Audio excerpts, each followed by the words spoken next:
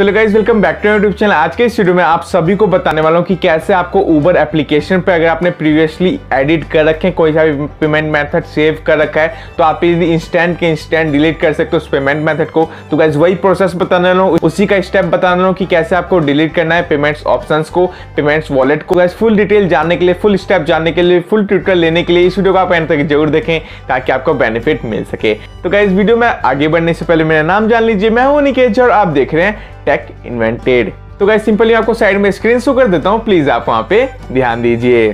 तो गाइज़ यहाँ पे आप देख सकते हो कुछ इस तरह का इंटरफेस ओपन होता है ऊबर एप्लीकेशन का सिंपली आपको करना कि यहाँ पे आपको राइट कॉर्नर में अपने प्रोफ़ाइल का सेक्शन मिल जाता है। तो गाइज़ सिंपली आपको इस पर क्लिक कर देना है। क्लिक करने के बाद यहाँ पे आपको बहुत सारे ऑप्शन मिल जाते हैं। यहाँ पे हेल्प वॉलेट और ट्रिप्स अगर आपको इस तरह का ऑप्शन शो नहीं कर रहा तो गाइज़ प्लीज़ एक बार आप अपडेट कर लीजिए। अपडेटेड वर्जन है, अगर आपका तो हंड्रेड एंड परसेंट आपको शो करेगा।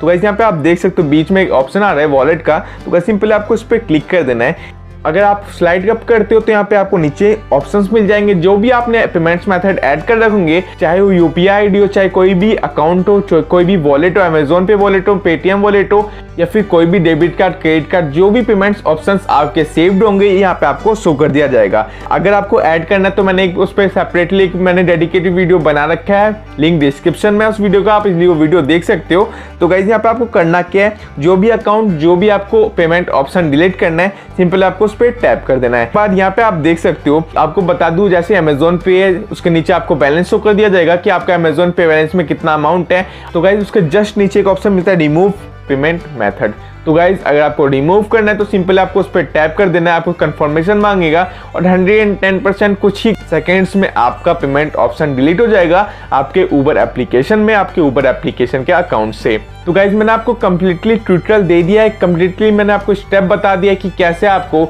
अपने ऊबर एप्लीकेशन में से पेमेंट ऑप्शन डिलीट करना है।